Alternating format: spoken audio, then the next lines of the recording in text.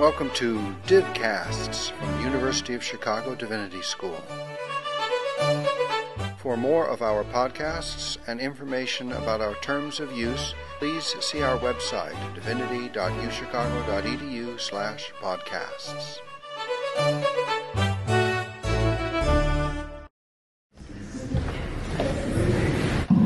Good afternoon, everyone.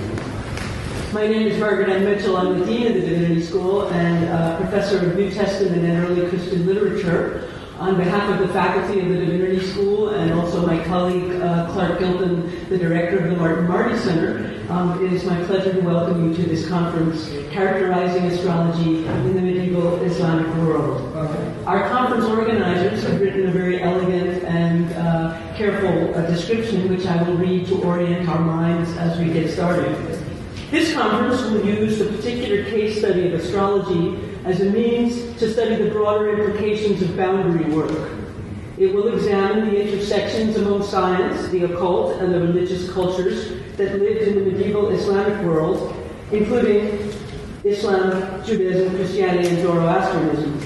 The conference hopes to complicate the categories of magic, science, and religion by looking at how boundaries between these fields were articulated by medieval scholars. Boundary work, by its very nature, is interdisciplinary. The conference will bring together scholars of religious studies, history, sociology, art, and science studies to collectively examine the chosen case study of astrology.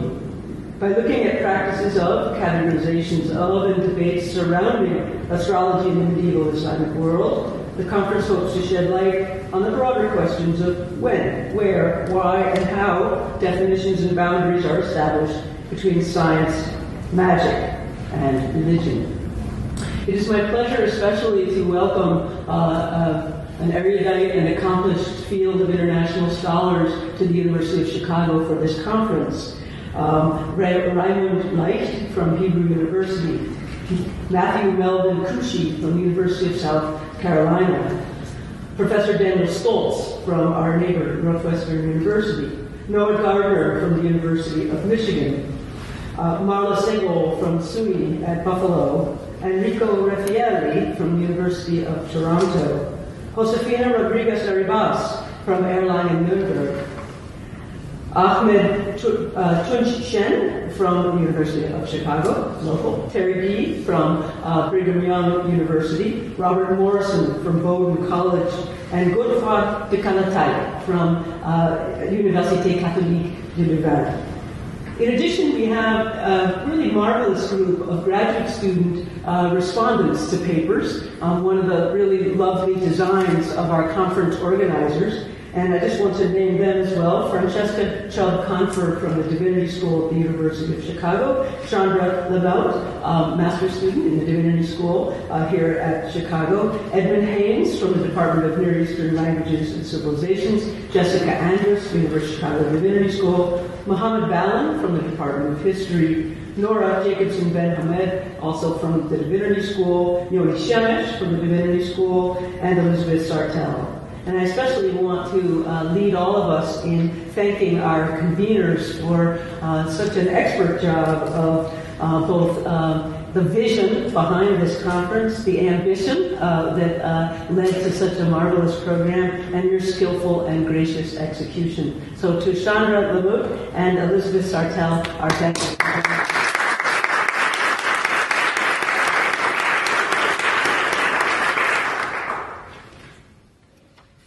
And I guess I also ought to thank uh, Professors James Robinson and Alireza Doostdar for uh, being faculty uh, um, uh, leaders and guide, guides to this conference as well. So Professor Doostdar and Professor Robinson, thank you.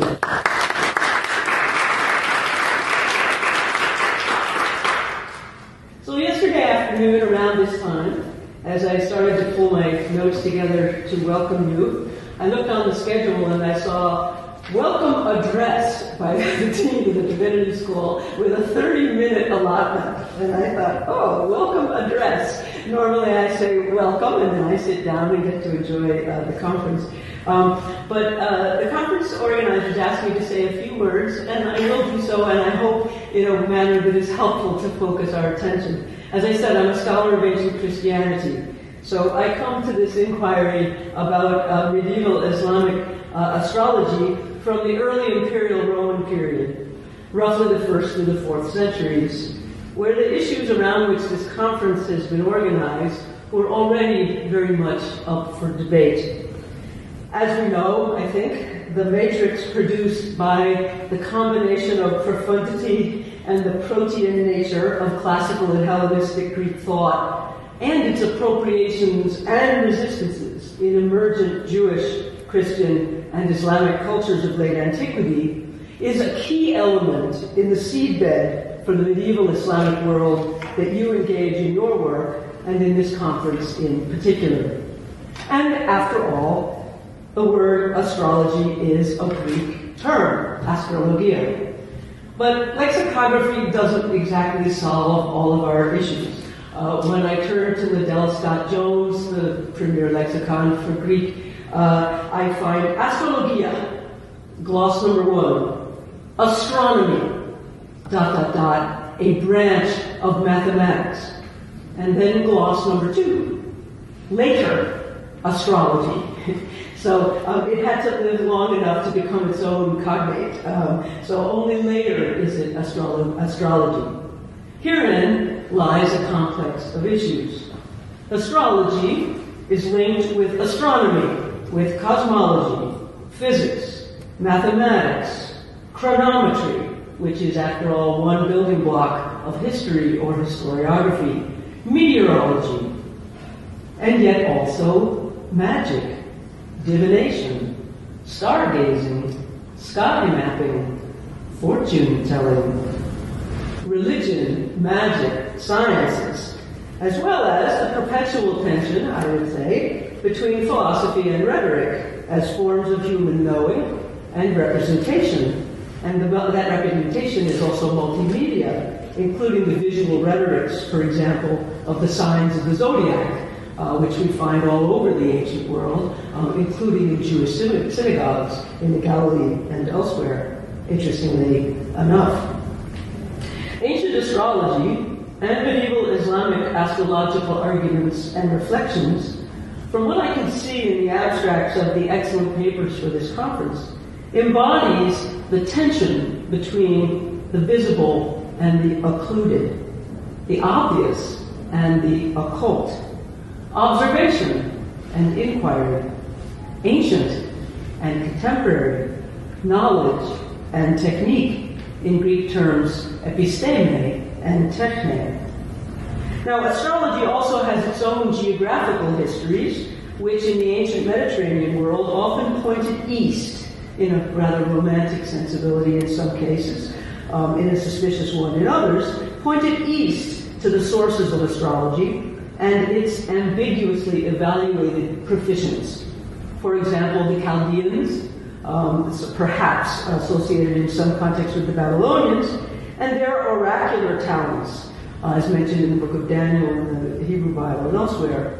The Magi, those Persians with their star in the Gospel of Matthew that marks the birth of the infant born king of the Jews.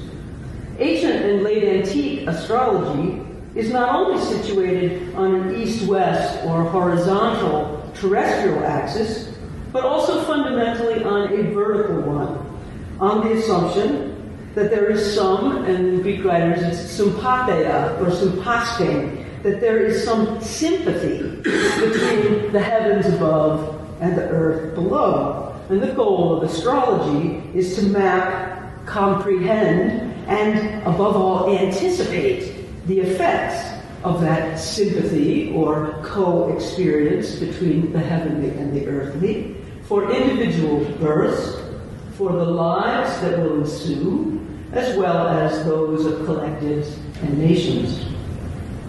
I would add as well, as I was thinking about this, that astrology is also situated at the nexus of human hope and credulity on the one hand, and doubt and skepticism on the other.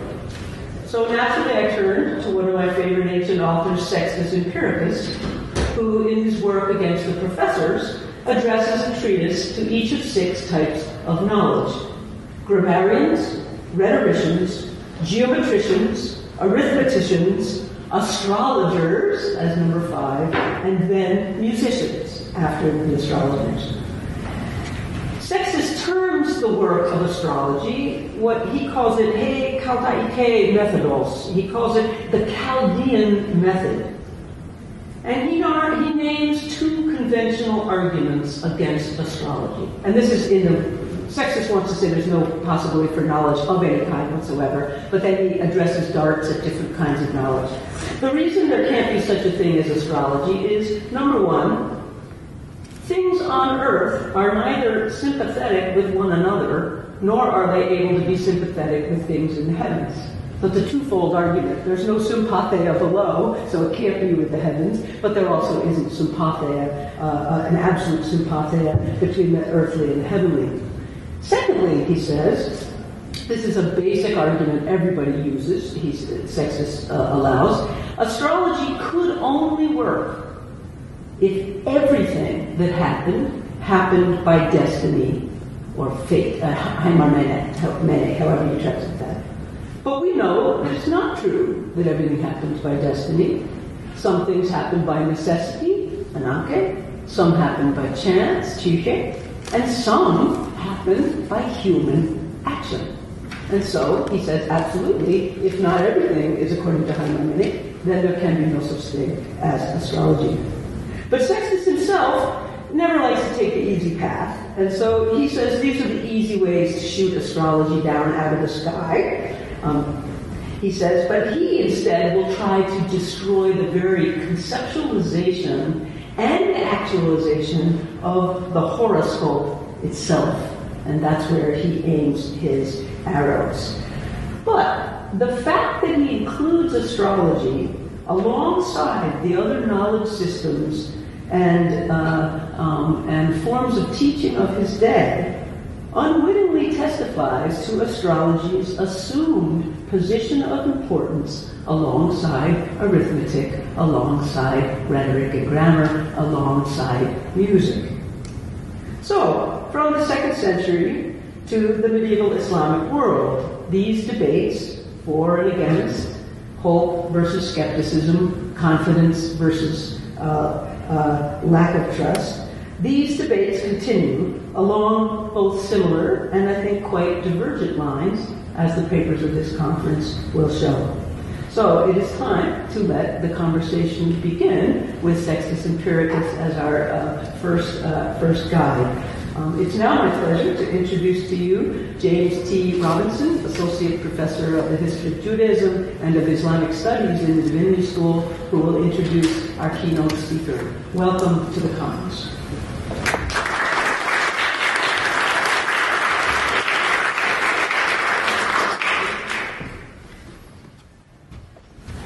Thank you, Dean Mitchell. Uh, you have a half hour uh, for your introductory remarks. I don't appear on schedule makes it much better. So uh, I would have to say, that I can to introduce uh, Professor Wright quickly and uh, set us on our way. First of all, I wanted to add commendation to uh, Elizabeth Sartell and Chandra Lamotte, who did a wonderful job in organizing everything related to this conference. They have brought us here, and hopefully uh, in a few minutes, Professor Wright will then take us forward. So I want to add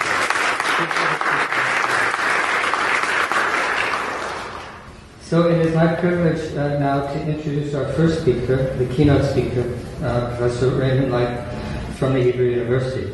Professor Leicht is the senior lecturer in the Faculty of Humanities in the Department of Jewish Thought and also the program for the history, philosophy, and sociology of knowledge, uh, sociology of sciences. Um, he is the head of the program for the history, philosophy, and sociology of sciences as well. Professor Leicht is the author of a one might say, the foundational book in the study of Jewish astrology, Astrologumena Judaica, studies on the history of the astrological literature of the Jews.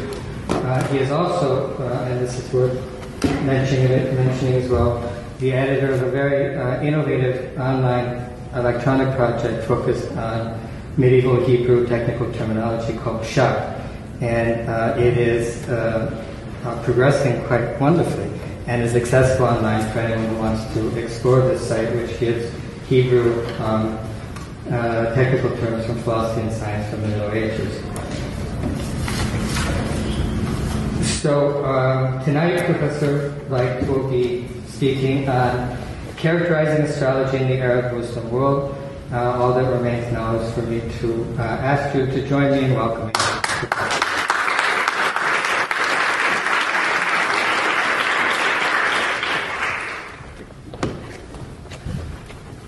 Good afternoon. Uh, thank you, thank you, Jim. Thank you, uh, Margaret Mitchell, for, for, the kind words. Thank you, first of all, for Chandra and Elizabeth for the organization of this wonderful conference. Very promising, very rich in themes. Dear colleagues, dear friends, it's really an enormous pleasure for me and uh, an honor to open this conference about characterizing astrology in the medieval Islamic world. In a way, I have to admit that I have stolen this title from the organizers of this conference perhaps with a slight uh, insignificant modification. But the idea of speaking about how to characterize astrology in a specific religious, cultural, and linguistic context, the medieval Muslim Arab world, simply appeared to me so appropriate for an opening session that I simply could not uh, withstand the temptation to commit this uh, little intellectual theft. What might serve me as a kind of excuse is that I have a personal relation to two of the two of the key terms in this title, which is characterized astrology. Um, if I look at my own uh, biography, my own interest in astrology has actually grown quite randomly out of uh, what is more a kind of coincidence. I've been working for many, many years in a research project on Jewish magic from the Cairo Geniza, and I was looking for a new research uh, project, and I found out that there are so many astrological texts in the Geniza from different different contexts that would be worth studying them because there are plenty of parallels in other Jewish manuscripts, Hebrew manuscripts, and there are also numerous par- parallels in non-Jewish materials. So, so I, I, started to, um, to embark on this research project, which ultimately uh, led to this uh, book, the Astrologumena Judaica, which is a kind of attempt to write a few chapters of the history of Jewish astrological literature.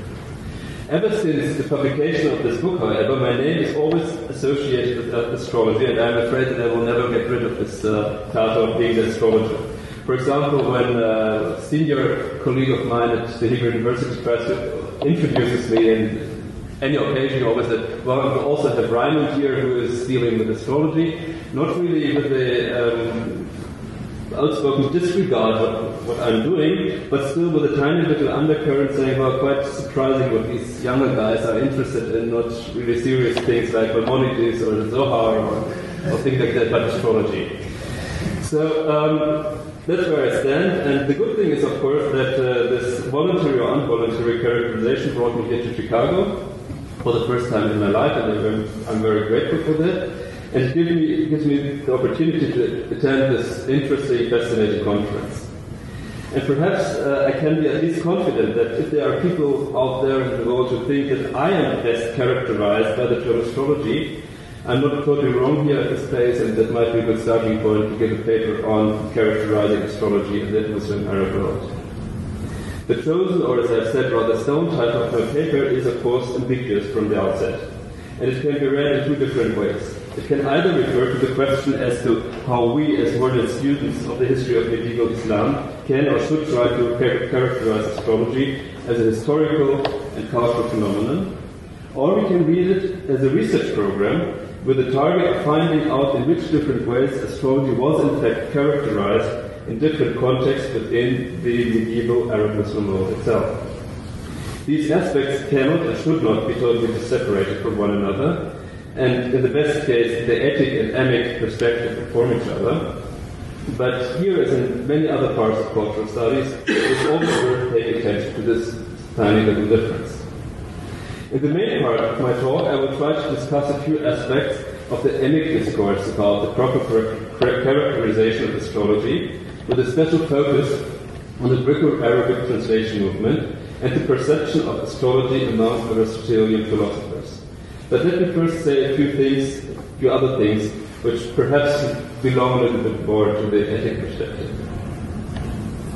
It is a widely accepted assumption that astrology was an imported, an import, an innovation in the classical Muslim Arab world, if we compare it to, let's say, pre-Islamic um, Arabia or the primitive Islamic culture. This assumption, however, requires some qualification. Although it is undoubtedly true that the large-scale production of astronomical literature in the Arabic language does not predate the 8th, 9th, and 10th centuries, and that astrology became a matter of scholarly dispute and discourse in the cultural realm dominated by Islam only afterwards. But we have to keep in mind that Islam spread into a geographical region where astrology was present and alive since centuries Iraq, Persia, Egypt, and so on.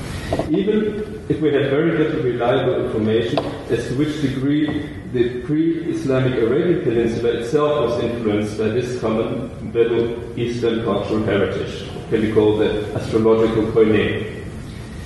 Toufic Fahd, classical study de la divination arabe, études religieuses, sociologiques et folkloriques sur le milieu natif de l'islam, which uh, came out in Leiden in 1966, is a major attempt to trace certain divinatory practices, among them also astrology, back into early Arabic culture, pre-Islamic culture, early Islamic culture. But the book, rich as it is in its material and scope, suffers from so many methodological deficits that it is difficult to reconstruct a reliable and adequate picture from this.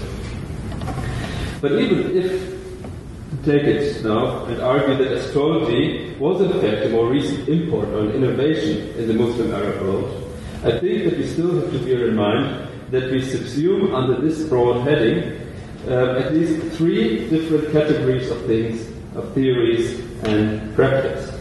And I think we really have to keep these things apart. First, popular astrology, which means astrological predictions about individual fate and, quite importantly, also astrometeorology, predictions of weather and, and, and uh, as a result of it, economical developments, based upon, at any rate, predicted based upon very simple methods and written down mostly in very, very short treatises, what I've called in my book Kleinliteratur.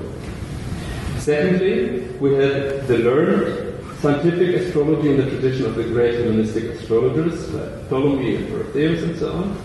And thirdly, we have astromagic, talismanic art and so on, which means theories and practices generally connected with Hermeticism and the Chaldeans.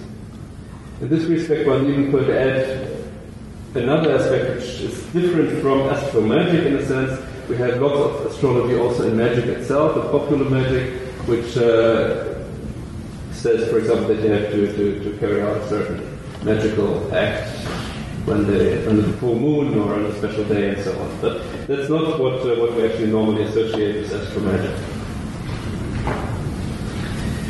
Um, if one would like to present a full panorama of the reception of astrology in Muslim Arab culture, one could probably and should probably have to add other forms for the reception of astrology.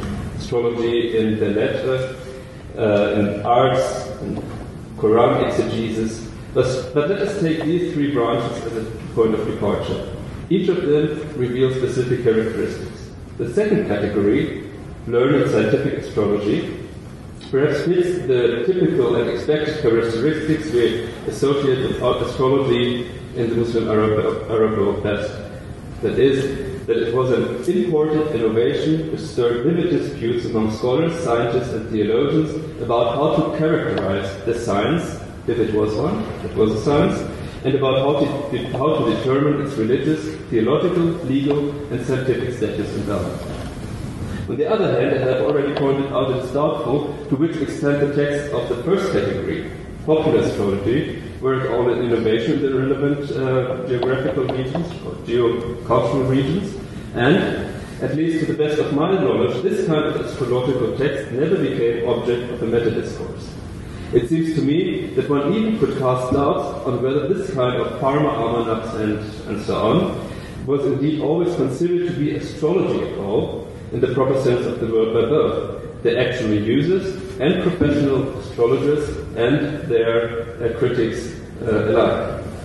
Finally, astromagic is again a quite different issue because there are certain peculiarities in the discourse about astromagic and also in the practice which are totally absent from judicial astrology. For example, the suspect connections to idol worship, the cult of demons on the one hand, but also its systematic place within natural philosophy uh, as a kind of So this also has to be kept apart. So astrology in the Muslim Arab world designates at least three different things, but as you probably know, the, the need for differentiations uh, does not really come to an end here. Another aspect which needs to be taken into consideration is that speaking about the Muslim Arab world means speaking about many, many different regional and religious cultures and subcultures in which the reception of astrology took place and the development actually also. Sunni Islam, Shi'i Islam, Coptic Christians, Syrian Christians, Jewish, Jews, Medians, Persians, remnants of pagan, paganism, all living, developing, and sometimes even prospering under the roof of the dominant Arab Muslim culture. This is sometimes also called Islamic world.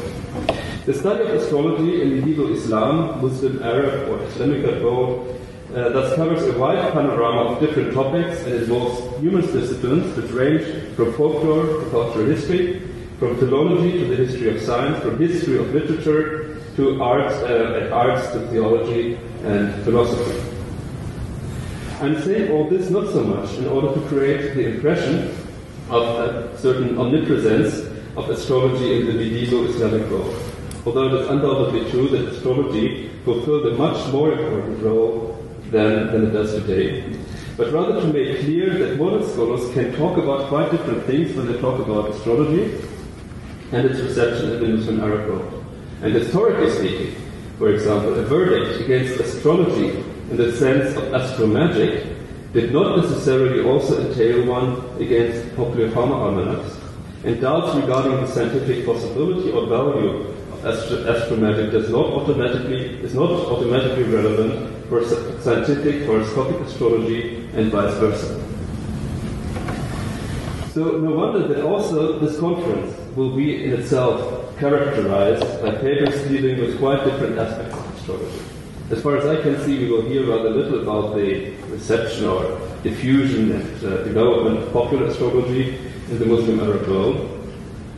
But we will, we will hear a lot and very, very many important and interesting things about the interconnection between astrology and the history of science, technology, and philosophy by uh, Matthew Melvin Koushki, by Josefina Rodriguez Arribas on uh, the, the astrolabes, by Terry Yee, astro- in uh, astrology and astronomy Abu Mashar, and by Fuad Kadatai um, about the Ikhwan Safa. We will hear about the interconnection between astrology and magic by Noah Gardiner, who is going to speak about Al-Buni, uh, Ahmed Shen, who is going to speak about uh, talismans in the Ottoman Empire.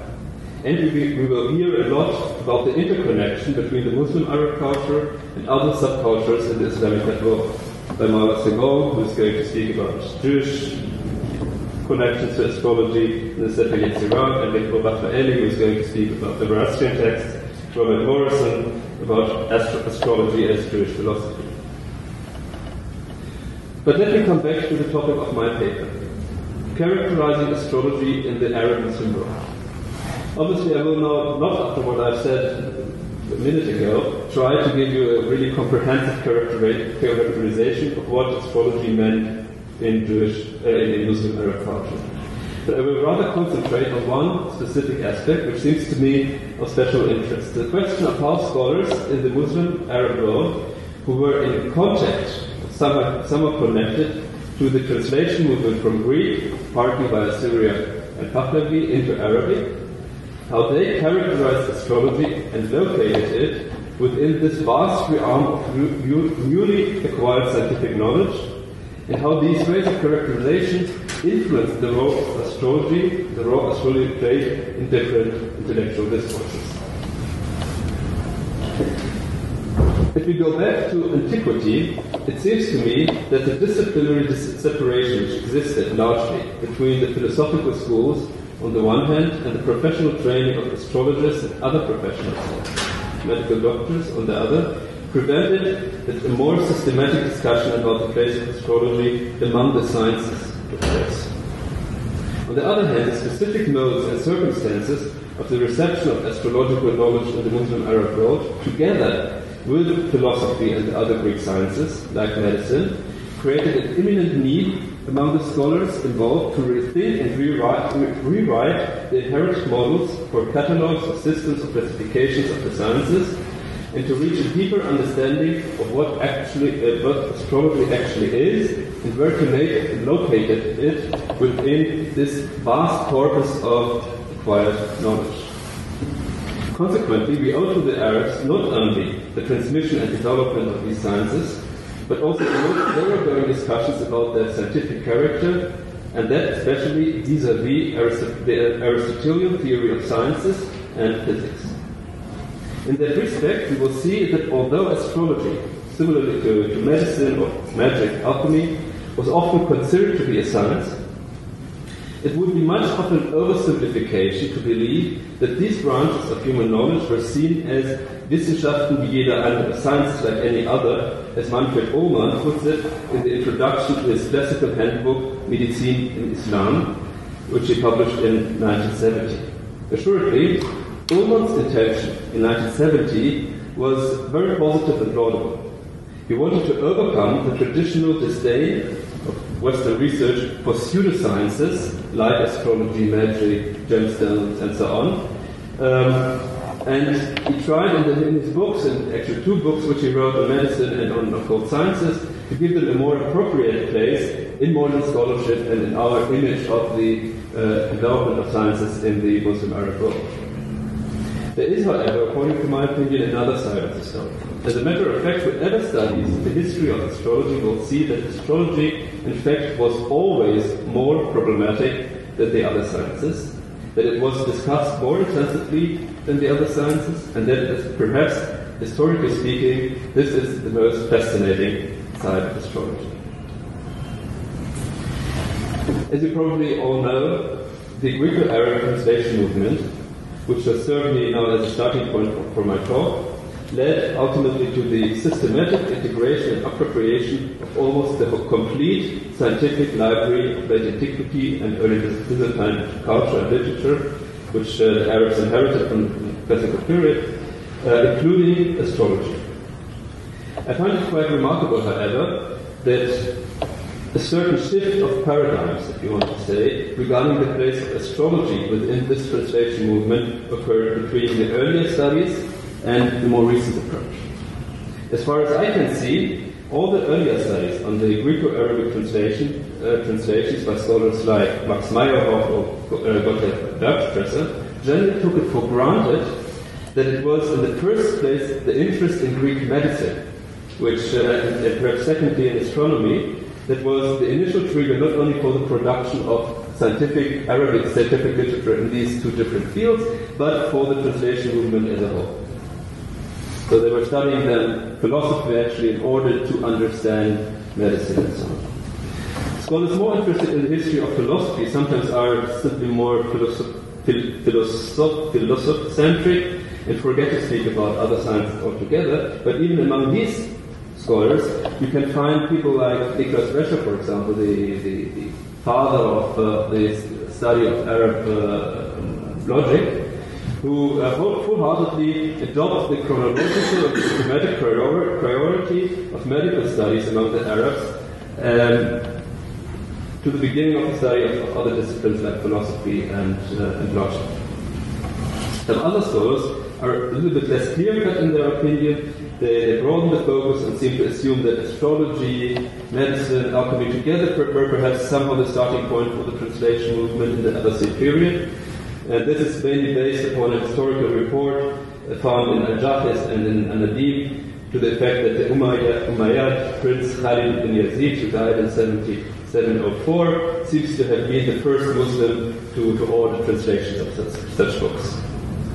More recently, however, Dimitri Gutas, in his epochal book Greek Thought, Arabic Culture, the Greco-Arabic translation movement in Baghdad in an early Abbasid society, which came out in 1988, um, this, he assumed a very unambiguous stance and explicitly argues that it, it, was in fact astrology and nothing else than astrology that had the, not only had the chronological priority in the translation movement, but also systematic. Take, for example, page one of this book, where he is writing about the enormous amount of translations produced during the Abbasid period in a rather short period of time. And there he says, what this means I quote, what this means is that all of the following Greek writings, other than exceptions thus mentioned, here he's referring to literature, uh, to, to literary texts, we have, we have reached, um, which have reached us from Hellenistic, Roman, and late antiquity times, and many more um, that had not survived in the original Greek were subjected to the transformative power of the translator's pen. Astrology and alchemy and the rest of occult sciences the subjects of the quadrivium, arithmetic, geometry, astronomy, and the theory of music, the entire field of Aristotelian philosophy throughout its history, metaphysics, ethics, physics, zoology, botany, and especially logic, the organon.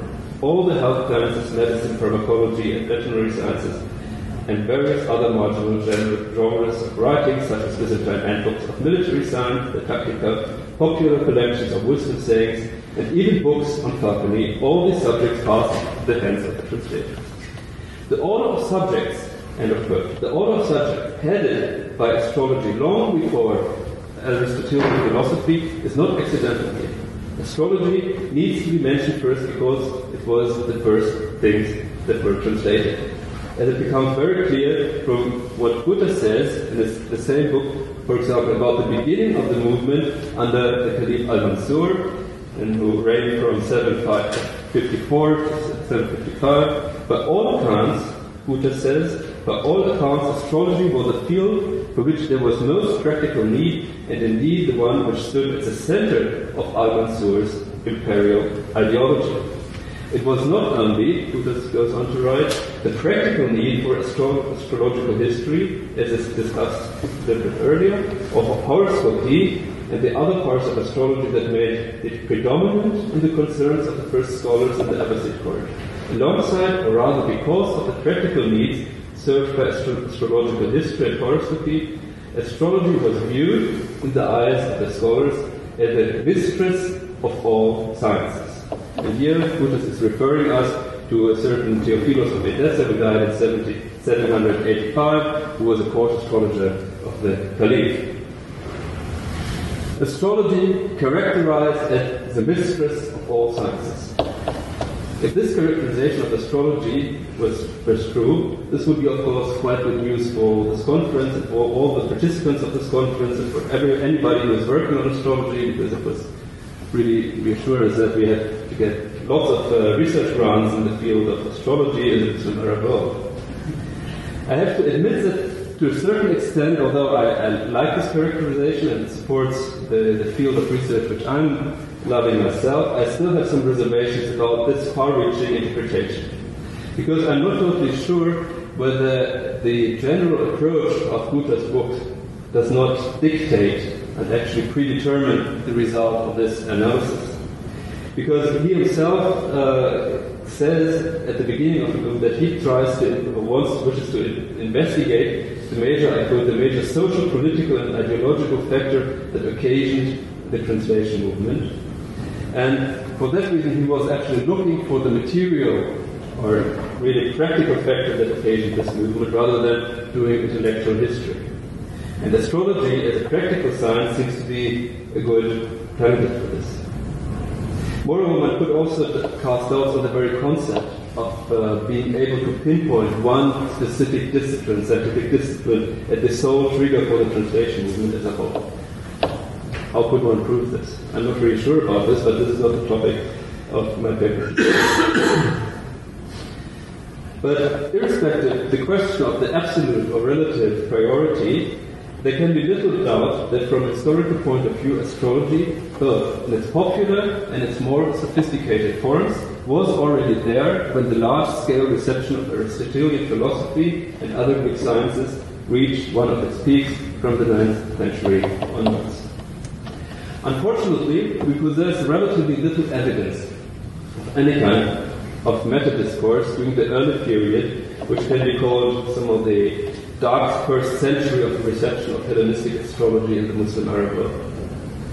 Disputes between Mu'tazilite theologians and astrologers on the issue of determinism seem to have taken place, as we can learn from certain documents settled by, by uh, van Ess in his uh, famous Theologie und Gesellschaft im 2. und 3. Jahrhundert der Hijra.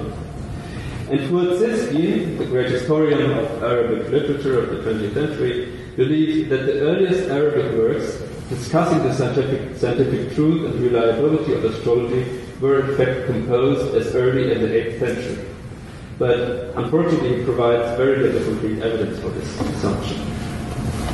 On the other hand, the first properly documented scholarly discourse about astrology can be dated only to the mid 9th century, when Al-Kindi, the philosopher of the Arabs who died in 873, and his student Abu Mashar al-Balkhi, who died in 886, apparently did not only embark on disputes with contemporary opponents of astrology, possibly the certain Ali, um, Ali ibn Isa al-Asturlabi, but, and I think more importantly, made serious attempts to integrate astrology into the system of Aristotelian science as they understood it in order to allot astrology a proper place in the system of sciences.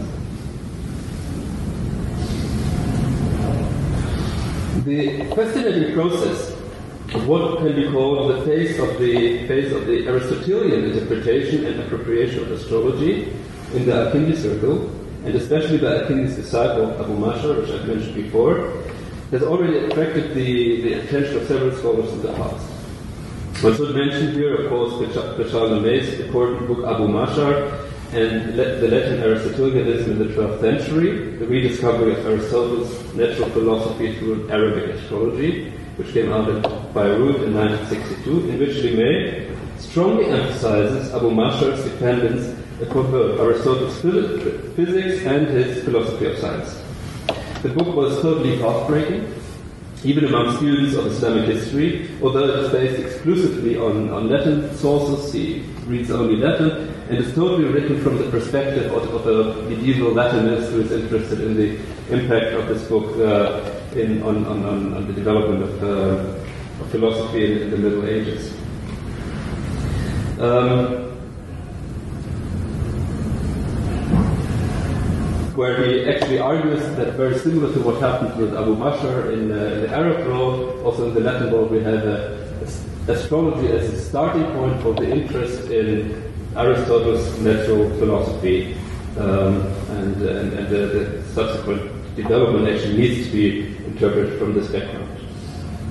But there are also other scholars who were fascinated by this phenomenon. Only one year after the Lemay, Ron Badel published a long article on Abu Mashar's defense of astrology, and about a decade ago, Peter Adamson published a paper in which he largely follows, on the one hand, Lemay's interpretation of Abu Mashar's Aristotelianism, but also highlights the latest close contact or dependence upon the philosophical system of Al-Kindi. I think we will hear more about Abu Mashar later in this conference from uh, Um, but I still would like to mention a few points here which seem important to my topic, the characteri- characterization of astrology in the early phase of the Greco-Roman translation movement.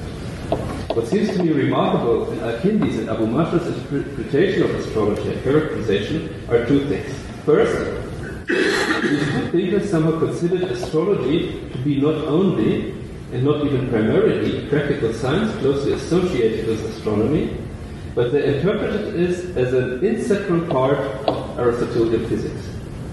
As it is well known, Aristotle believed that the stars, and especially the sun, play an important role as a kind of motor of the processes which are going on in the sublunary sphere, but he nowhere systematically elaborates on this theory. Now, both Al-Kindi and Abu Mashar try to fill this gap, actually this uh, systematic gap that exists in the Corpus Aristotelicum. Um, sorry um, and argued that it is the astrological teachings inherited from the Greeks which do provide an appropriate scientific explanation for the functioning of the physical processes observable in the sublunary realm, in the world of generation and corruption.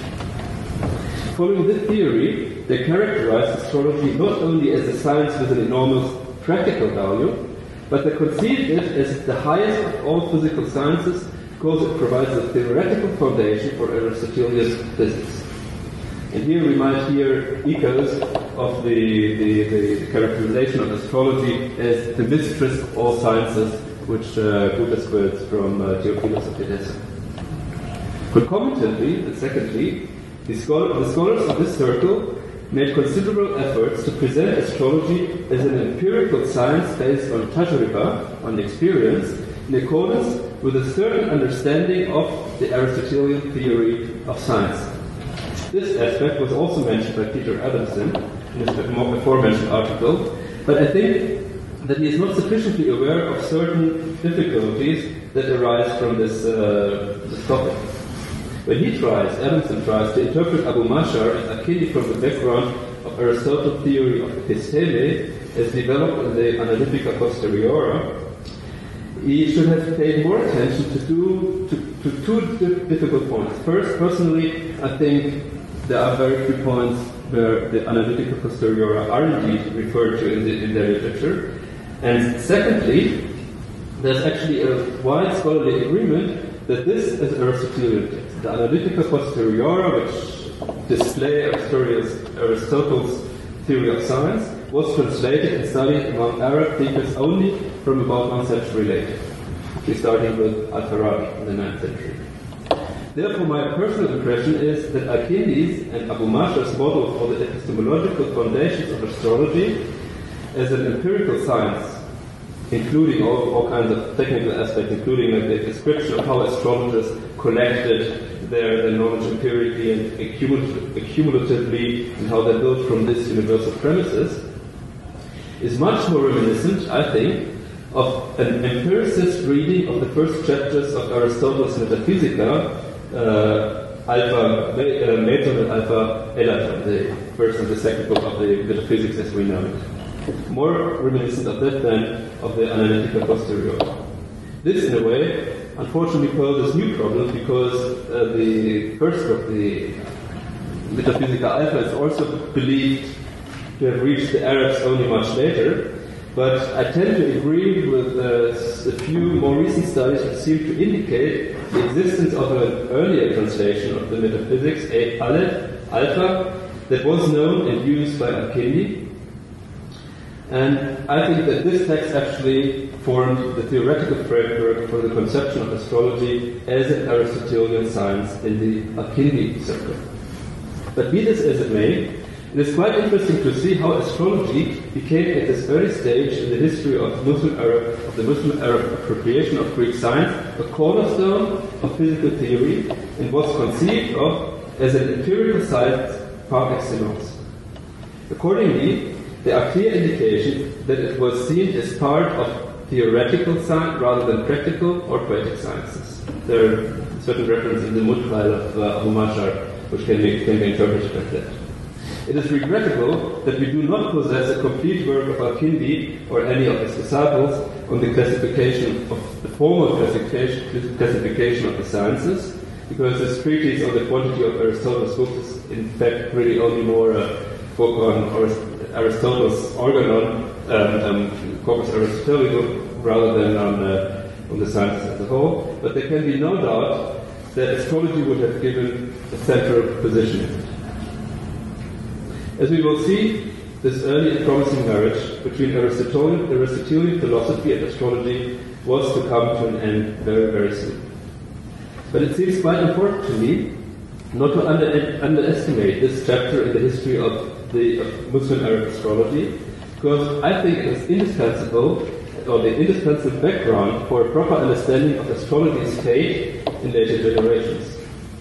More than just serving as a strategy to defend astrology against its opponents, the characterization of astrology as empirically founded science of nature, which was formulated in the 9th century, turned it into a crucial supplement to, uh, of Aristotelian, Aristotelian physics. Accordingly, Al-Kindi's and Abu Mashar's understanding of astrology is probably better described as a systematic and constructive one rather than merely apologetic one. Astrology not only enjoyed some kind of chronological priority, but became a constitutive part of the new scientific worldview. If we are looking from this point at the later development, we will no longer see the later development processes of a gradual appropriation of astrology gradual uh, attempts to, to, to, understand and learn more of astrology in the Arab um, Muslim culture, but rather as a period of gradual retreat from this first period of uh, enthusiastic reception. What followed after the grandiose advent of astrology in the Muslim Arab intellectual world was in fact a long, long period full of attempts from various sides to limit and top downgrade the scientific aspirations, aspirations of astrology and marginalize, marginalize its role in the context of Aristotelian science. so, what happened with astrology in the decades and centuries after the heydays of astrological Aristotelianism in the mid-9th century. As anybody can easily learn from the astrology volume of Fuat Sezgin's Geschichte des arabischen Schrifttums, astrology continued to fascinate people. On the one hand, what followed was an extremely productive period in which numerous Muslim Arab authors composed treatises on astrology more and more astrological texts were translated and made available to Arab readers, and all this was probably, pro- presumably also read by a continuously growing uh, audience. But this is only one side of the coin. Let us look at how astrology was conceived in the intellectual discourse of the time, especially among the so-called Hellenized um, intellectual elites, those who were really interested in um, Greek sciences. As you probably all know, our main sources information for the adaptation and appropriation of Greek sciences in the Muslim Arab world are the so-called classifications of the sciences, a literary, literary genre which served numerous Arabic authors of the 9th and 10th century and even afterwards as a kind of literary means to produce some kinds of encyclopedic survey uh, of the newly absorbed scientific knowledge and or to create some kind of uh, teaching or learning curriculum for, um, for students. As Dimitri Gutas has shown in an article published in 1983, these classifications of sciences ultimately all rely on models adopted from introductory works produced for the philosophical schools in Alexandria in late antiquity. Now, what can we learn from these texts about the history of astrology?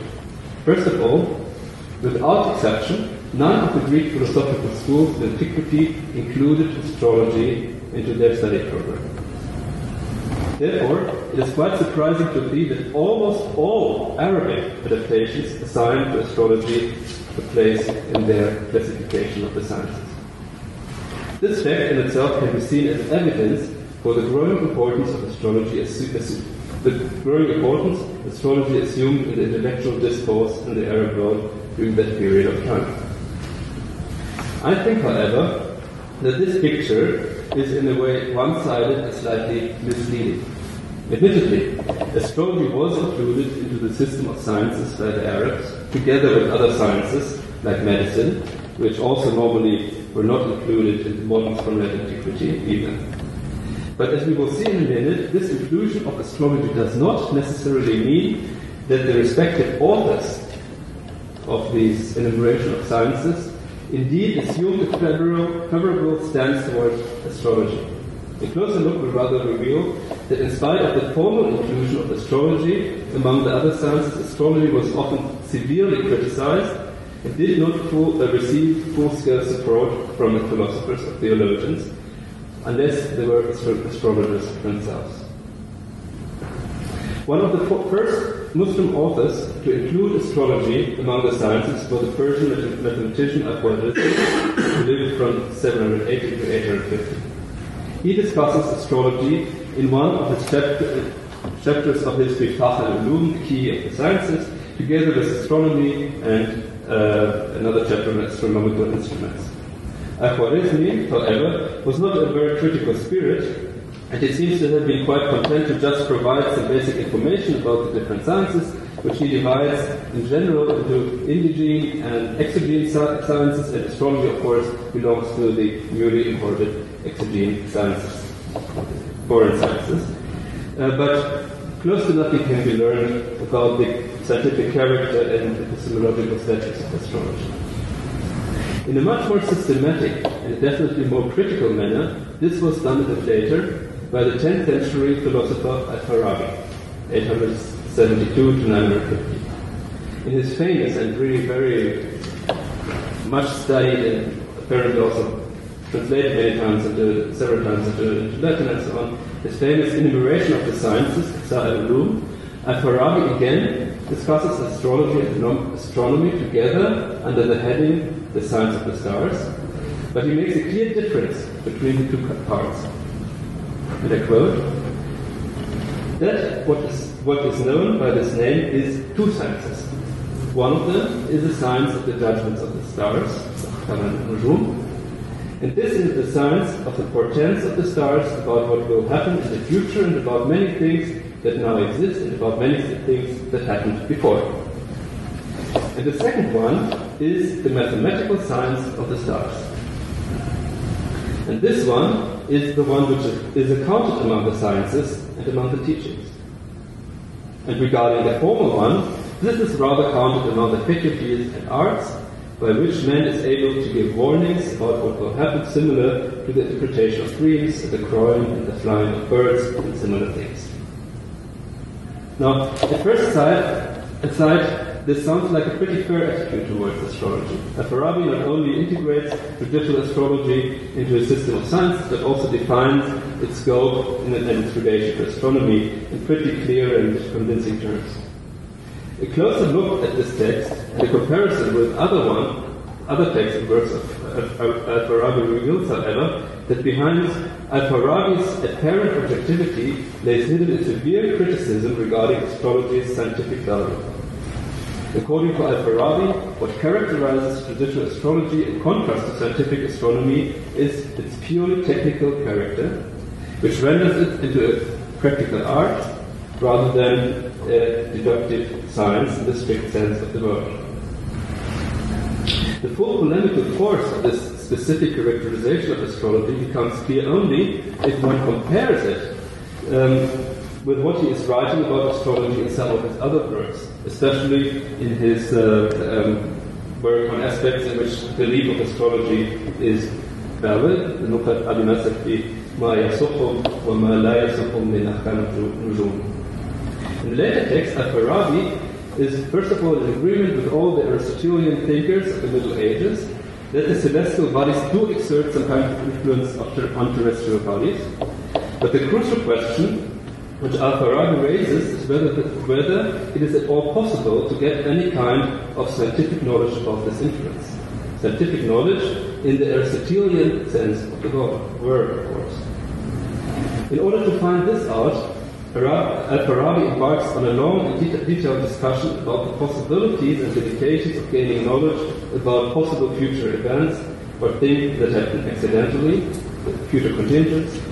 He then scrutinizes in detail the physical basis of the influence of celestial, uh, celestial bodies upon terrestrial bodies and comes to the conclusion that in most cases the causal relationship between astral cause and terrestrial effect is too remote in order to allow, allow for any kind of reliable scientific statement.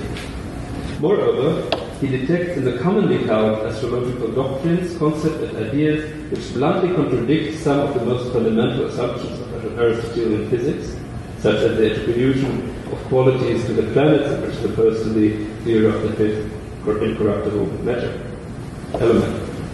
So that astrology loses, in his eyes, much of its physical foundations. In the end, it appears that conjectures about the influence of the positions of the stars on certain events are just like, as likely as those of other popular divinatory practices like eye and bird flights and so on. Astrology would have to take into account too many different relevant aspects, which it doesn't come to in order to work properly. So that Al-Farabi concludes that astrology is in the end of the day nothing more than conjecture, supposition, smooth talk, and deception. This is briefly summarized Al-Farabi's characterization of astrology. What occasioned this rupture between the two branches of the science of the stars, and more importantly, between astrology and Aristotelian philosophy uh, after the heydays a century before in the circle of Al-Kindi? We do not really know for sure, but I think that the most likely answer is that it was nothing else but the deepened and more systematic acquaintance with both Aristotelian physics and the, his uh, philosophy of science, which made this divorce unavoidable. The synthesis of astrology and Aristotelianism, initiated a century earlier by Al-Kindi and Abu Mashar, was too fragile in order to survive more systematic scrutiny. A deeper acquaintance with Aristotle's physics made it impossible to believe in a superficial harmony between the two, and perhaps more importantly, the reception of Aristotle's theory of scientific knowledge, such as found in the newly translated Analytica Posteriora, made it impossible, if impossible to blindly apply the empiricist interpretation of metaphysics A alpha. Accordingly, the inclusion of astrology in Al-Farabi's enumeration of the sciences must not be interpreted naively as, as evidence for a growing esteem for the science, for this science by an individual author. It rather reflects a sophisticated attempt to enter into a discussion about the specific scientific value of astrology and to allot it its proper place in the system of sciences. And it should be remembered that at the very beginning of this text, Al-Farabi says himself, the aim of my book here is to describe the sciences and to give you also the keys to evaluate them, to say which science is more certain and which one is less certain. And uh, since we are here in, in, Chicago, I want to add one remark, uh, which perhaps might lead the interpretation of this text into a, a totally different direction. What I've described here is at least what arises from a from the exoteric meaning of the words of, of Al-Farabi's treatise. Only in parenthesis, I would like to mention here that there is perhaps one more aspect which would turn all this upside down. Pretty much at the beginning of this of this text, of this Al-Farabi's text on the criticism of where he criticizes astrology, Al-Farabi states that the stars are in fact the cause of those things which happen accidentally and that cannot be grasped by any scientific method.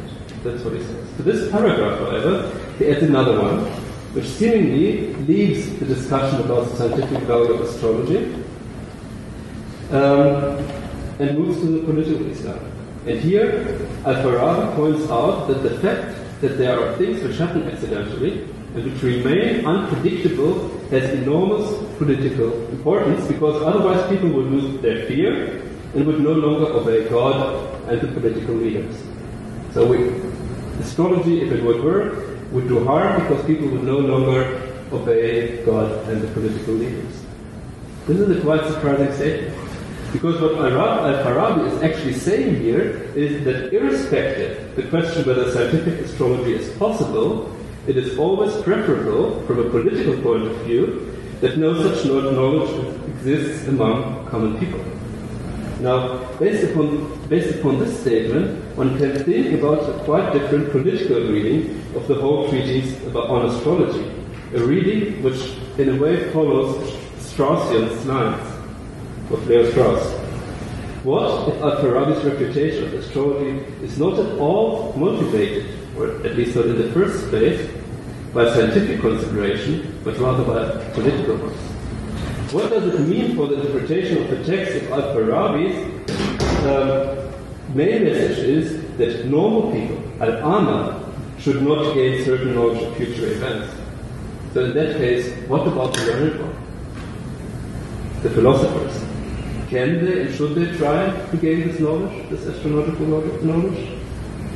If this Straussian interpretation were correct, Al-Farabi's whole argument would of course appear in a totally different light. I do not want to defend this reading here explicitly, but I think that it should be taken into consideration that this is at least a possible direction of the interpretation of this text. A more penetrating study of Al-Farabi's treatise on astrology will have to ask, I think, whether the alleged scientific impossibility of astrology is indeed as absolute and uncompromising as it might seem at first sight. And, of course, to ask what kind of consequences that would. But be this as it may, at least outwardly, the philosophical refutation of astrology became standard in Muslim Arab Aristotelianism. A similar stance, like Al-Farabi's, was taken, for example, by the second important Aristotelian philosopher in the Arab, Arabic language, Ibn Sina, who lived from 980 to 1033. He made his doubts about the reliability of judicial astrology explicit in a work exclusively dedicated to the refutation of astrology, the Risala fi Ibtal In a quite polemical vein, he divides the branches of human knowledge into two. Those sciences, which cannot be criticized because they are evident, and those which must not be criticized because they are unworthy of any kind of criticism. Astrology, it goes without saying, of course, belongs to the second one.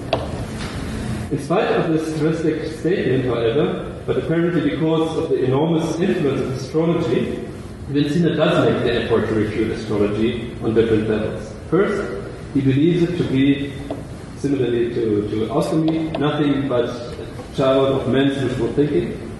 People try to overcome their fears and try to satisfy their, their personal desires, and so are naturally inclined to believe in alchemy and astrology.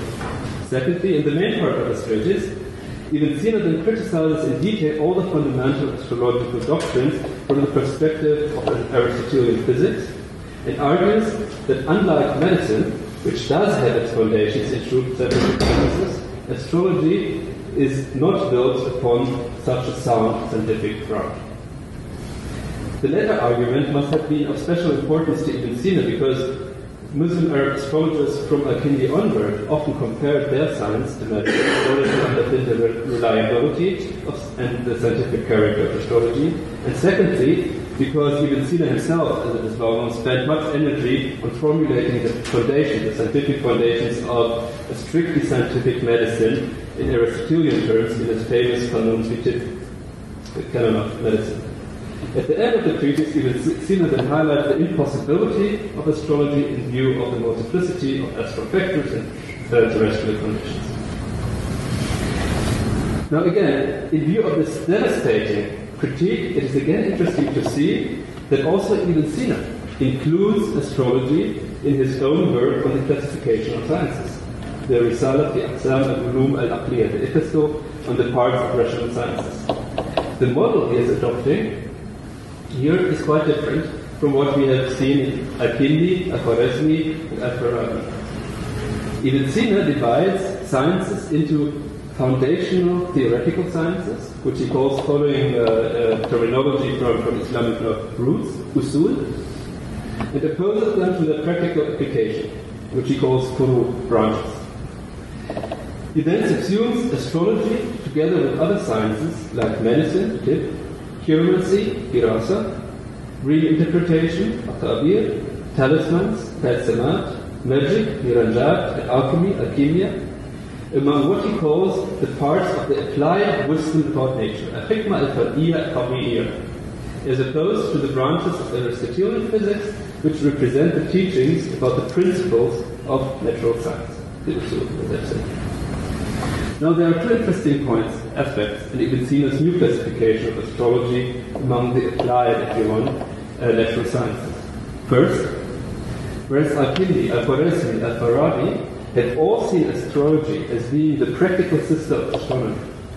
Ibn, Ibn Sina disconnects astrology from astronomy, Ilm al which remains, like in all the other texts, uh, predecessors, part of the mathematical sciences, and introduces it into applied physics. And secondly, Ibn Sina inserts astrology into a list of sciences some of which are explicitly connected with, with what he calls occult causes, occult powers, like talismanic arts, about which he says, that the aim of talismanic art is the mixture of heavenly powers with the powers of some of the terrestrial bodies in order to compose from this power that causes an abnormal event, fi'ilad ghariban, in the terrestrial world. Or he says, Ibn Sina says about magic, and the aim of this is the mixture of powers and the elements of the terrestrial world, so that a power which will happen to be in it, and that an abnormal event will come from it. In other words, Ibn Sina does not only add talismanic art and magic to astrology in the list of applied natural sciences, something that, at least to the best of my knowledge, was never done before and it disconnects astrology from its long-term partnership with astronomy. he also inserts it into a group of sciences whose common characteristic is their reliance upon the principles of physics and upon secret, hidden, esoteric powers which exceed the capabilities of scientific investigation. I'm, i have to say that I'm not totally sure whether this means that Ibn Sina himself would have argued that hidden esoteric powers are the foundation of traditional astronomy, astrology, In this point, he remains pretty neutral and said that astrology is dealing, quote here, uh, with the inference uh, of events from the positions and movements of the stars. But I think that we are witness here to a crucial development in the history of astrology. Traditional astrology is no longer primarily seen as a sister of astronomy, a sister that can be criticized on the science of skeptical, on the basis of skeptical arguments, but still belongs to the same family. But it is brought into the context of another branch of sciences, which form a group of itself, which cannot be called differently than occult sciences. And the inclusion of astrology within what really was to become one in later periods of its major characteristics to be esoteric occult Islam. Ibn Sina's reinterpretation of the place of astrology in the system of science did not come out of the blue. I'm convinced that Ibn, Ibn Sina rather reflects developments to which he himself was pretty much opposed. Side by side, the more strictly Aristotelian thinkers who opposed the conflation of astrology and Aristotelian sciences, we can find mostly labeled, labeled Neoplatonic uh, authors, for whom the marriage between astrology, philosophy, and science was not passé and remained extremely attractive, and also firmly believed that the occult sciences can and need to be integrated into the system of sciences. As far as I can see, this was nowhere, nowhere this, so to speak, academic Aristotelian intellectual elite, but these were still serious thinkers who firmly believed in the truth of sciences like astrology and astromagic.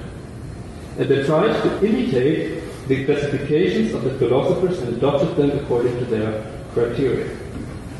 An example of this uh, I would like to briefly mention here are, of course, the famous brethren of purity, the Ikhwan al in the 10th century, about whom we are also going to hear more in the course of this conference, who produced a long, long epistle on magic, the last one actually, um, and in that epistle, um, it's not only interesting because of the theory of magic described therein, but also for the brother's attempt to locate the science of talismans, of astromagic, within the system of the sciences. The sciences are divided by, by him into four parts, or by them, mathematical, physical-natural, psychological, and namusi, traditional esoteric. And the letter contains its parts alchemy, astrology, magic, and medicine. The author of the epistle explicitly explains that astrology is the basis for magic and talismans, and that the later is the, the later is following the first. Another example of this intellectual trend are the Picatrix, the Raed al-Hakim of Maslama and Mashariti, who lived in the 10th century, who apparently lived in Spain. His book is not only an encyclopedia of magic and most importantly of astromagic, which was also translated into Latin and became a kind of Bible of uh, astromagic. It is also a document for the attempts made, made during this period to develop a comprehensive concept of the workings of astral powers and occult sciences. Trying to characterize this kind of astrological magic, Al-Majriti writes in the second chapter of his book, Magic, simple, I quote, is something that is difficult to comprehend, and its causes are hidden from the ignorant. This is the case because it is a divine power which is active from preceding cause, from preceding causes, which are the precondition for its understanding. It is a science which is difficult to grasp. In short, magic is something the cause of which is not accessible to the majority of men, which is too difficult to be found by them. This text leaves no room for doubts that its author, author was already influenced by the discussions about the epistemological status of the practical natural sciences among Aristotelian thinkers like Sina, and the scientific reputation of astrology. He knows that according to the Aristotelian model, certain knowledge of causes is the only guarantee for the creation of a true science. And he knows that this is the weak point of astrology and astronomy. But at the same time, the author of the Picatrix is convinced that there are ways to come into grips with the, the theory and practice of this branch of occult science and leave it for a select few to, to carry this out. And according to his opinion, there is no reason to give in to the philosophers and their critique of astrology and magic. So what we observe here is a radically different function and image of astrology from the one which, which we have found so far. The astrology used in the magic in the context of magical handbooks and by the Ikhwan al-Safa described here is one which is, on the theoretical level, mainly occupied with secret causes and powers, and it is, on the practical level, a science produced and transmitted in small circles of adepts. In other words, following certain ideas found also and already the astrology of the Diet of Hakim has become an esoteric science in the double sense of the term. It is a science where the object of knowledge is esoteric and the status of knowledge itself is esoteric too.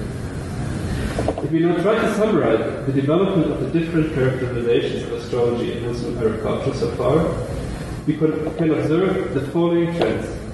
After an initial period in which there reigned a great optimism that astrology and Aristotelian sciences can be assimilated to one another, the major Aristotelian representatives of the Greco-Roman translation movement made many, many efforts to remove astrology from the canon of Aristotelian sciences, even in those cases where they apparent, apparently included it into their classification of sciences.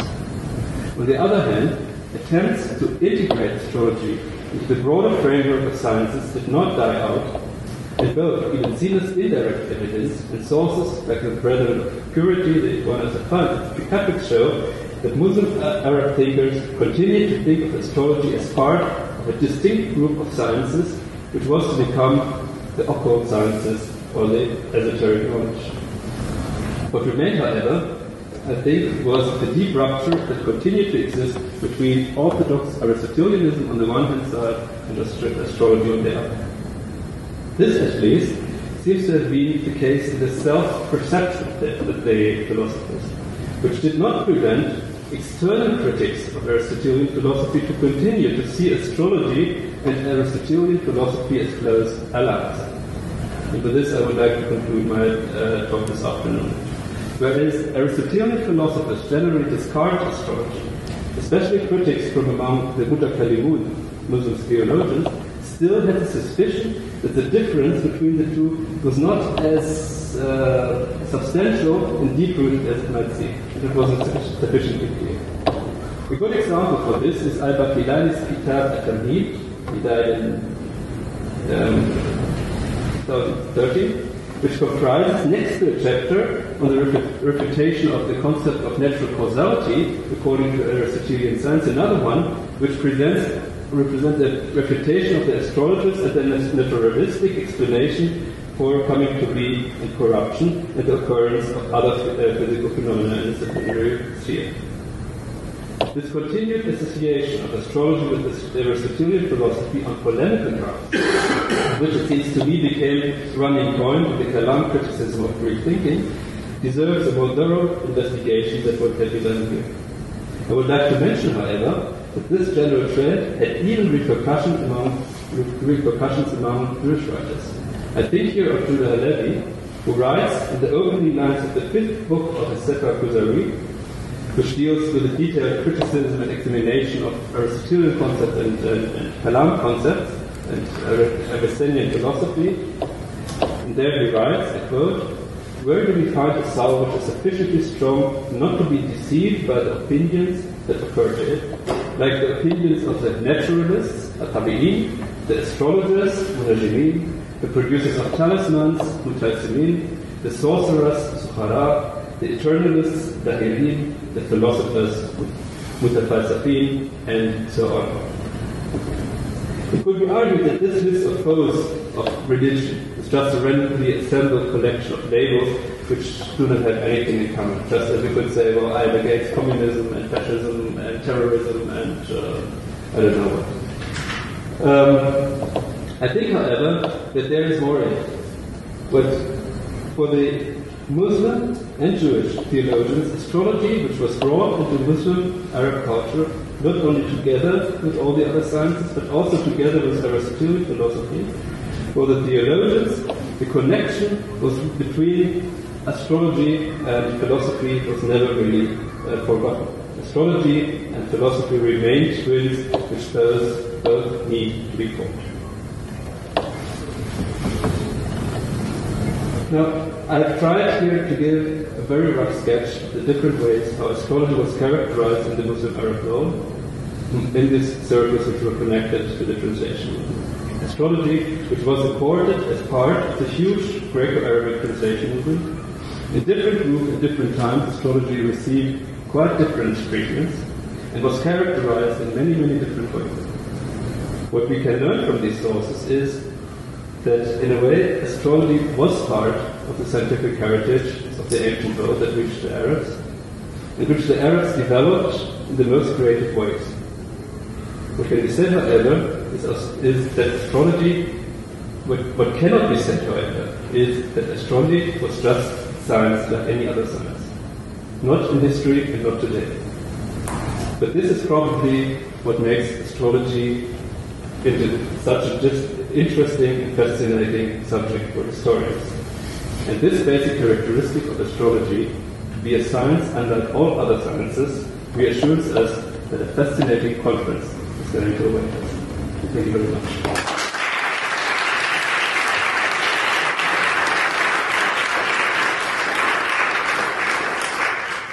Thank you very much. We have plenty of time for questions, starting with Ali Yeah. Thank you for a really fascinating talk. Um, I wonder if you can help me understand uh, a certain distinction between Kindi and Farabi and uh, Ibn Sina. So Kindi on the one hand, Kindi and Abu Ma'shar on the one hand, and Ibn Sina and um, Farabi on the other. If I understood you correctly, you were saying that for Kindi, the way that the um, astrological, the way that astrology was incorporated into Aristotelian thought was through the category of. And so, so tajribah, and I'm my understanding correctly, that Tajriba was the, the, method through which um, astrologers mm-hmm. did their work.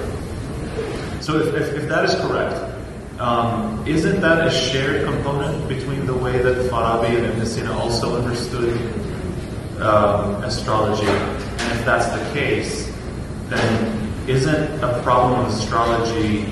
Uh, is it the way you know, the way that astrology is to be judged through whether um, uh, the extent to which touch tajriba, methodical experience, or mm. um, you know testing and, yeah. and, trying and so on, the extent to which that epistemologically is valid, um, and, and and how can we understand the problems around this question of tajriba comparatively, maybe in relation to something like medicine? I mean, I understand what all sciences have, you know, they, they, they you know, it's the, the problem of sort of the hiddenness of the causes and so on. But even when the philosophers are talking about medicine, often there's this question, I mean, Ibn Sina, right? The, the question of scammony purging bile. The issue is that we don't know what the cause yeah. exactly yeah. is. It's a hidden, you know, ultimately we come up with a hidden syllogism. You know, we think of it as a purger, but we don't know exactly how it happens. So to that extent, is there not really much more of a similarity with a field like medicine? And you know, so what is what is the status of tajriba, of experience as a kind of, you know, is that sort of lightning rod here? Yeah. Um, I think two things. The imminent place of, of astrology within the system of Aristotelian science is actually its value for filling the systematic gap with Aristotelian physics, which is one thing. Yeah, that, that actually, according to, to Kindi and Abu Ma'shar, um, astrology explains the, the functioning of the, especially the influence of the, of the sun, but of the celestial bodies in general upon uh, terrestrial bodies. It's one thing. And uh, I think that this is the main reason why, why he really uh, or how he tries to, to, to, to stress the importance of, or the, the, the description of astrology as a kind of a mistress of the sciences, at least of physical sciences in, uh, Akini. This is one thing I, I think that must be kept separately from, from the second point, which is uh, Akini's um, interpretation of astrology as a science in, in, in Aristotelian terms. And, and here it, is correct that there is a kind of um, continuity between, between Al-Kindi and Al-Kindi also actually argues that astrology, just like medicine, is based upon Tajriba. What um, um, I was actually, uh, what I'm actually thinking about the, the historical diachronic development here is, is actually a little bit opposite to what normally historians of, of Muslim, uh, Arabic philosophy think. We have the, both in Al-Farabi and in, in Ibn Sina discussions about Tajriba. And it is normally interpreted as, uh, as an addition to, um, to the Aristotelian uh, axiomatic concept of science. I think that in view of what we can learn from the discussion in Al-Kindi and the disputes between Al-Kindi and Al-Farabi, especially in the field of, of um, astrology, it's actually the other way around. There was an empiricist reading of the Aristotelian concept of science, which had to be adapted to the new findings which, uh, which, the, the, the, reading of the Analytica Posteriora made necessary. So, so the, I think that, that the, the, the relevant passages both in Al-Farabi and in, uh, in Ibn Sina are actually have to be read not from the perspective of how Arabs added tajriba to Aristotelian science, but how to the uh, tajriba interpretation, the empiricist interpretation of Aristotle, Al-Farabi and, and Ibn Sina added the newly uh, acquired knowledge about the poster, um, analytica posterior. That's the way how I, I read this thing, and I think that, that in, in, that concept, even from a, from a more general point of view, the, the familiarity of, um, of Al-Kindi with, uh, with, the, with, the, metaphysics and the first chapter of, of Book Alpha of Metaphysics is really crucial because this um, uh, is a discussion about uh, about um, empirical sciences, and the, starting point was was actually this concept of empirical sciences.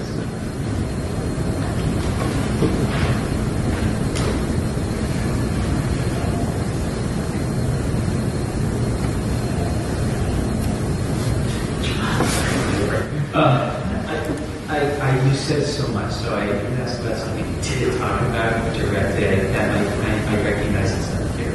You said you said there was a, an additional few centuries of optimism about astrology, and I can see why that makes sense if you're looking at astrology from the perspective either of modern scholars who are interested in science, philosophy, and science, or as the historical actors themselves, people like Farabi, you know, people you talked about. Mm-hmm you explore this from a slightly different angle? I mean, that would be, say, a religion. Um, I mean, yeah, it's a problematic term, but uh, in that astrology challenges things like prophet, you know, prophecy would seem to be more reliable than astrology, or the Chaldeans, you know, the bad boys of the Quran, or star worshippers, isn't. It's an, this right, so there's there, it poses challenges to reveal religion, um, and I, you know, like Augustine criticized astrology. And, and in earlier earlier religious texts, pre-Islamic religious texts, you know, somewhat be critical of astrology. Do you think that the the eventual party ending of astrology had anything to do with that? Right? Like, where are these criticisms of astrology coming? Or might there be continuities from the uh, I actually mentioned the, the, the Kalam criticism of astrology only at the very end of my, of my talk. Yeah, and, and their arguments, like the which you were mentioning, would come into the, the, and, to a certain extent, also, if uh, the, the more, pro-astrological reading of Al-Farabi, which I suggested in my paper, would be true, that would also be a kind of, uh, would actually be the battlefield for, for, for discussion with, theologians, because if, if astrology really is executed, uh, could be become a, a reliable science, actually the Aristotelian philosopher would be the better uh, fortune teller than the prophet. And, and that would, of course, uh, uh, cause enormous discussions. And, and, on the other way, the other way around, actually, the, the one of the basic problems of, as far as, I can see, of, uh, of the, the, the Kalam criticism of Aristotelian philosophy and, and, the concept of causality is based upon this kind of religious uh, uh, ideas.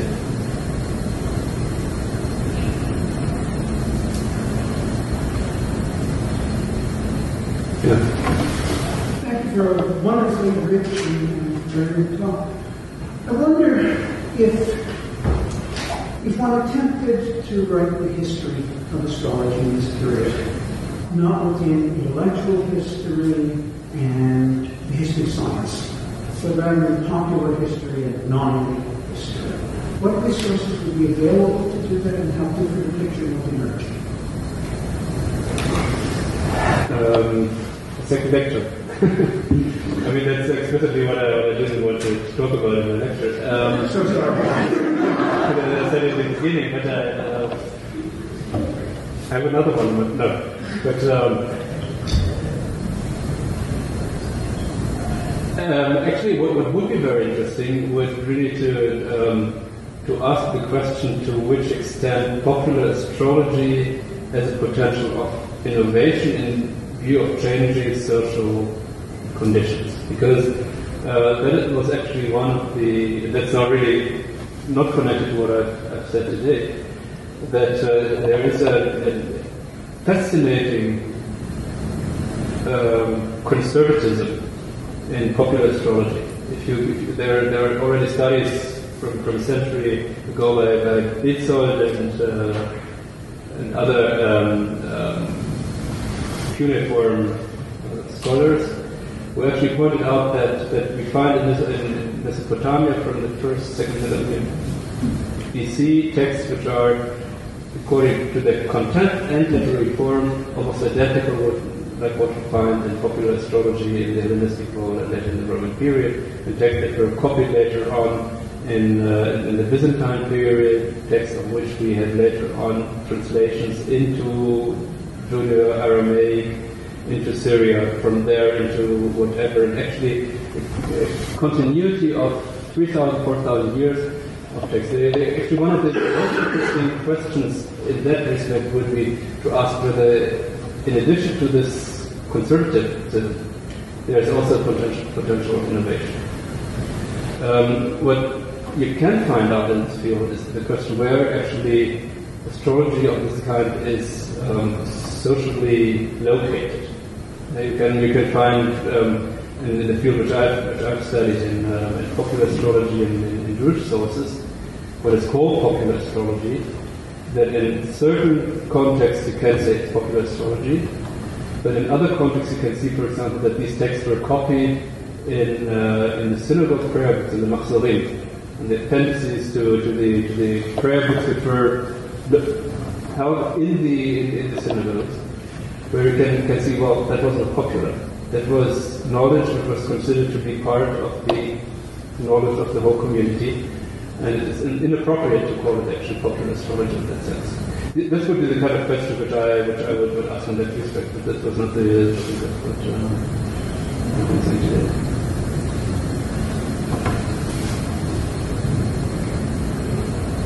so what uh, you began with Gutas and his uh, characterization of astrology as the mistress of the sciences, queen of the sciences? Which he uh, adopted from, uh, from Theophilus. So can you just elaborate more on, on why he pushes that idea and how he gets it wrong? Gutas. Yeah. Well, I think it's, um, as I've said, I mean, Gutas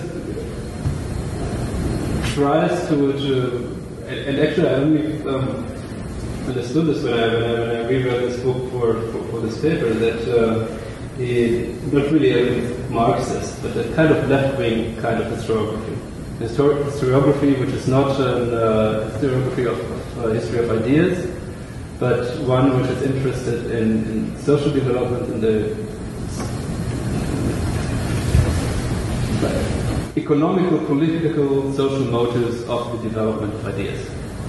And, and I think that, that uh, what he does actually is to combine this general methodological approach with the, with the objective historical evidence which we do have that there are very early translations of astrological texts, that we have the, the historical evidence that, uh, um, that already at the turn of the, the century texts were translated into Arabic long before we had these, uh, the schools of, of uh, philosophers. And, and out of these two, elements, I think he, he created his, uh, his theory, kind of materialistic historiographical theory together with uh, combined with this evidence. That's what I think how, how the theory came, came into being. And why is it wrong? What? And how is it so wrong? How is it so wrong since there was the early? I. How was was it so? Why is he? Why is that such a mistake in his representation of the early history of astrology? Uh, I see what he's doing. He's combining social history with economic history with intellectual history. But why? Uh, you said he overstates the claim, and this is the point. He because because I, I think that um, well, in the first place, I, I don't think that uh, that it is necessary to, to pinpoint one science which was attractive and which actually dragged behind it the, the interest in all the other sciences. And um, and I, more don't think that we really have, every, as, as, far as I can see, in, uh, for Al-Kindi perhaps true, but, but for, for, Farabi, I don't think that, uh, that astrology played or be it the, the, the, defense or uh, refutation of astrology were a major factor in, in their philosophical interests. I think that, uh, that, that this would be a kind of uh, over estimation of, of this, this, factor. I, I, think that I don't know. I, I think that, that it's, it's not the, the, the, picture which he's drawing is not uh, not totally convincing, although it's, it's, it's, interesting. I mean, it's interesting that he does so, and it's also interesting that he actually. Uh, I'm not sure I mean, we never really discussed the second second option, which was predominant previously, that, that it was must have been medicine, which is actually more, uh, in a way, more, more, more convincing because I mean we all are ill at a certain time. Not all of us consult astrologers all the time, but um, yeah, it's just a shift of paradigm, which is remarkable for it, my opinion.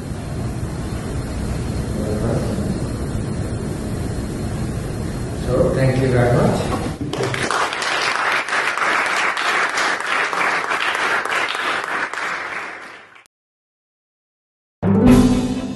We thank you for listening to or viewing our podcast. For more information and for other podcasts, please see our website, divinity.uchicago.edu slash podcasts. Copyright, the University of Chicago Divinity School.